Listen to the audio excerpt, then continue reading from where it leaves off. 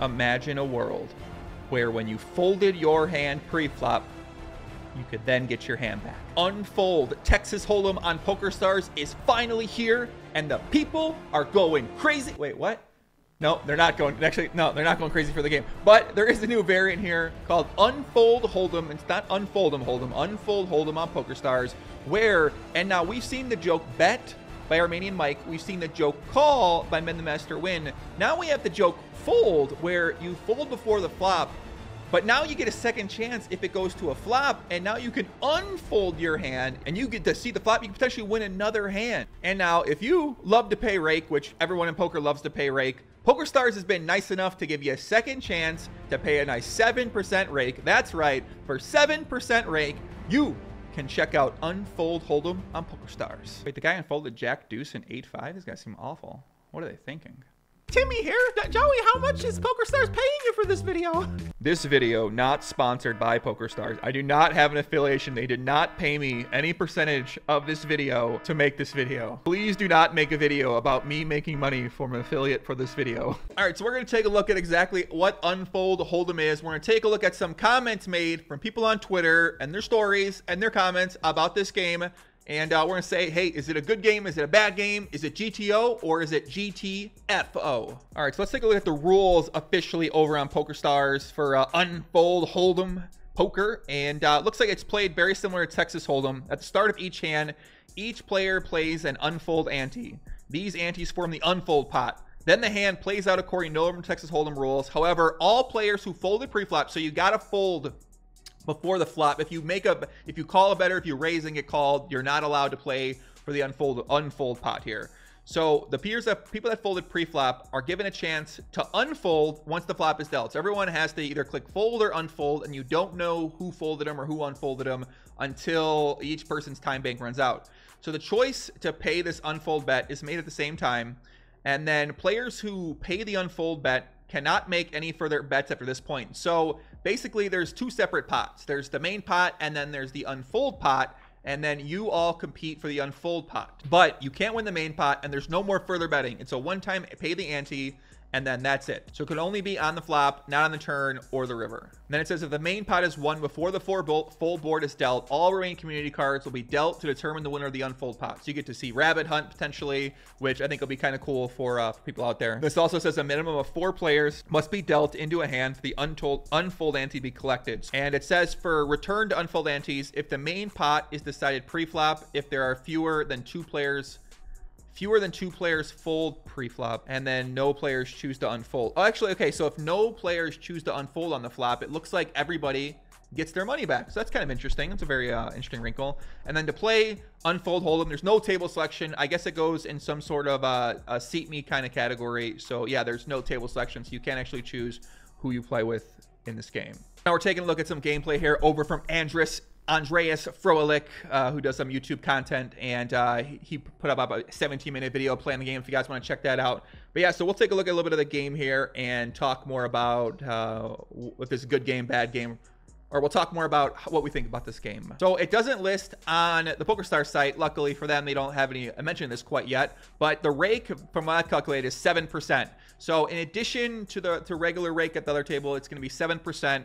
So it looks like the ante that you pay pre-flop is 60% of the small blind. So at 10 cent, 20 cent, it's going to be 6 cents a piece. Kind of looking at the game, it seems kind of fun. It, um, I mean, I don't think you can multi-table this because you have to act pretty fast on the fold or unfold pot. And if you don't act, you're just going to automatically be folded and not able to win. But I think if you're one tabling or two tabling, it seems like it, it, it might make things kind of fun. I don't know if I would ever play it or if I would ever tell someone to play it or check it out, but I guess we're going to kind of see if people enjoy it or people don't enjoy it. I haven't really seen anyone play it besides uh, one or two videos here on YouTube. And then now, will this format be as popular as Zoom? I don't think there's any chance that's possible. I think that PokerStars has done a very weak job of actually promoting these formats and pushing these formats. I think once people see this 7% rake on the ante pot that that's going in, that's being paid every time there's a flop being seen. So I think people will start to realize, okay, like the, the pros probably want to play this game. I don't know if people are going to want to stream the game. I don't know if they're going to be able to create content around the game. And I think for a game format to, to get popular here, they're going to need some of their professional poker players to, to play the game, to promote the game, to have some clips go out there and things like that. Because what we've seen from these formats in the past is that when they're kind of like mer whatever they're okay they're this or they're that we've seen them just not be popular. And i don't really see any promotion for these game formats at all. So if, if people out there aren't seeing it if you want know it exists or if you don't know to try it out or if you don't know if someone's even enjoying the format well then why are you going to want to check the format out if if really no one's trying it? It's kind of like that game i don't even remember what it's called the hearthstone poker game they came up with power poker or something like that where i mean it kind of looked cool but no one's playing it so if people were playing the Power Poker game, I, I honestly I can't remember what it's called, but if people were, what was the game called? You know what the game's called? the power poker game. Power Up. I think it's called Power Up. Power Up. Yeah. If people were playing the Power Up, it looks pretty fun. I think that if more people were playing it, if they got more streamers to play it, if they got some of their pros to play it and lead the charge, we'd see we'd maybe see that game be more popular. But also, you know, with that rake and, and with these games being debatably beatable, I think people are starting to wise up a little bit.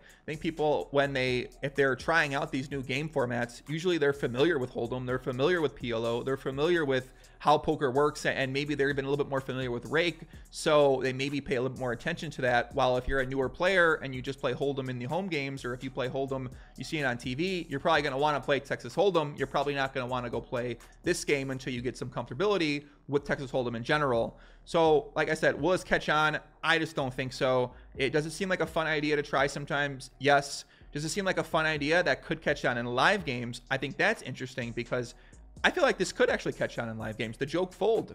Now, because there's already enough action in these live games, and people, whether what are they going to fold?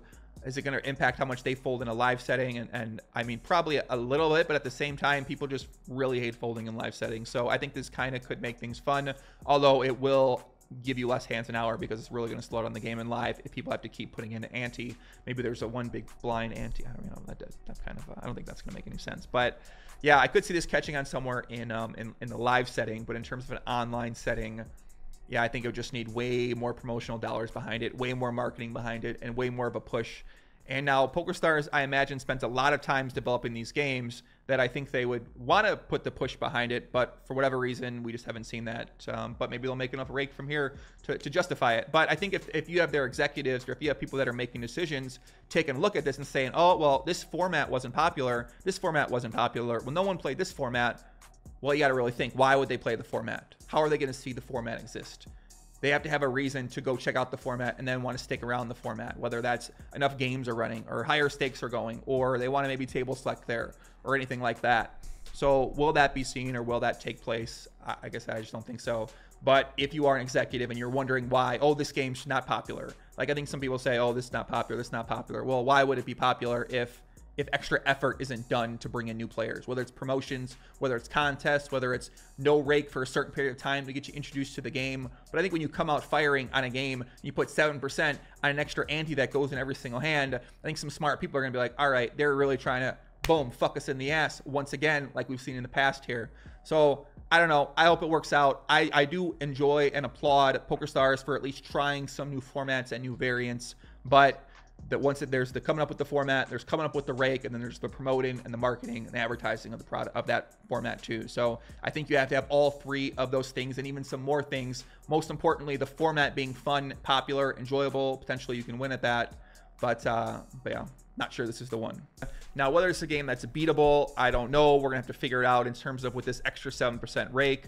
Obviously, these antes are being paid each hand. So to me, it seems like it would make the games tighter overall, I believe. I think that um, maybe some players, if they're weaker players and they have a close spot, they might just decide to to fold so that way they can play the unfold pot rather than put some money in with the marginal decision. It's like it seems like it'll be a fun variant for people that like like some extra action that want to gamble it up here. Uh, one of the most interesting comments I read was over on 2 plus 2 from Rapadish123 said unfold home is quite weird. It looks like if you raise first in and everyone folds, the antes go back to each player. So there's a lot of incentive for playing tighter.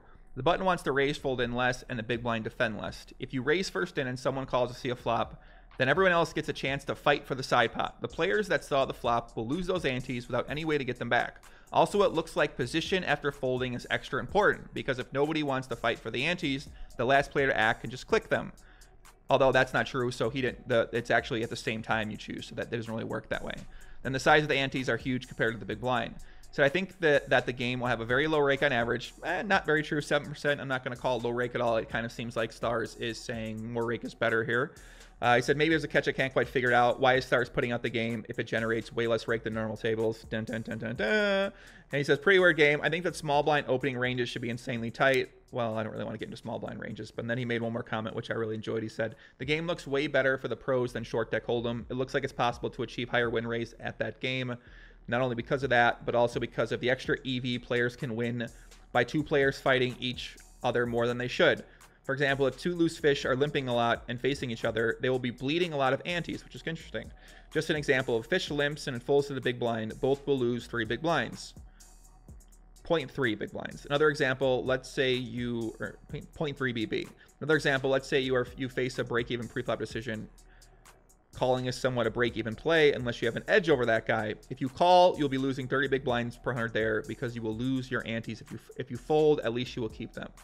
This creates an insane dynamic in the games, which will also allow people to go looser than unfold GTO, because even though you have less incentive to make loose opens, Big Blind also has a lot of incentive to fold the big blind, so you could actually get away with very light steals if the big blind is avoiding those break-even situations. Now, if the big blind over reacts by over defending, both players will be in a lose-lose scenario where the other player wins. So it's kind of interesting because it just kind of talks about a little bit different strategy that could be going to the game. All right, so reading some comments through on Twitter. Dan Ott, World Series Poker runner-up last year, said the other guys in the video unfolded that PokerStars posted, folded, unfolded 8-5 offsuit and Jack-2 offsuit on 29-3.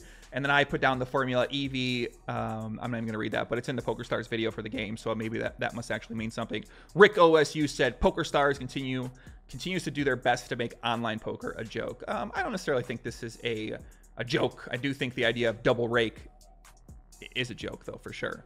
Dan Dan Janger says, "What next? Redo the flop." I said, "Fuck it, why not?" He obviously did not hear uh, Power Up Poker because Power Up Poker, I believe, you can actually do that. Uh, David says, why would you ever call pre-flop? Definitely still uh, still reason to call pre-flop. Belmar, this is getting out of hand. We should do a pool to see how long this fucking game lasts. Obviously, the public sentiment is uh, not in PokerStars' favor. Bruno says, "Hey, PokerStars, can you can you make some more ridiculous than split hold'em? PokerStars hold my beer." uh, Toby Nash, this is lit- terrible, literally terrible.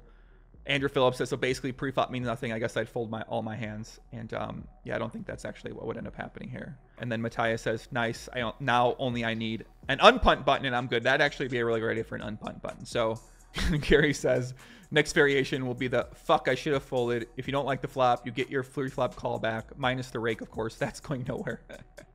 kind of fucked up, but definitely the rake's going nowhere. And last but not least, Chris says, thank you, Party Poker, for allowing me to move away from this shit. Awful idea. Love to know DNEG's real feelings on this and not his paid feelings. So you guys can see the public sentiment right now. I'm sure a lot of these guys haven't played the game. Not necessarily on PokerStars' favor. Of course, PokerStars probably built this up on themselves with some of the decisions and the communication that they made in the past with players. But will people like it? Do you guys enjoy it? Will you check it out? Will you play it? Would you ever play it for money and stakes? Would you ever try to get better at it? How long before the solver takes over? Let me know your guys' thoughts on the game. Unfold Hold'em on PokerStars. Thanks, guys. Much love. Peace out.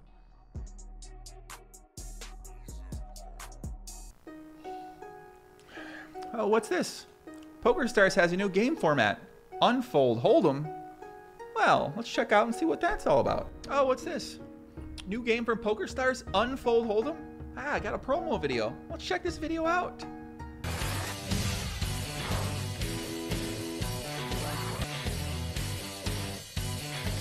Wait, Wait, does that mean they get to charge more rake? No, no. Let me check the site. Let me check the official page. No rake. Please no rake. Please no rake. Please no rake. No, no rake. I don't see anything about rake. Oh my god. Oh my god. Let's go to YouTube. Let's see. All right. Andreas has a video here. Let's see if they rake these pots. Oh no. No. This pot's supposed to be 288. Oh no. The pot's 268. How much are they taking? 20 cents. What's the rake on that? 7%. Oh my god. Here we go again. I like this new game, guys. Timmy here. If, if I was in a hand, I'm, I'm folding everything. I'm playing for the unfolding pot, baby. Yeah. Timmy, fuck y'all. Douchebags.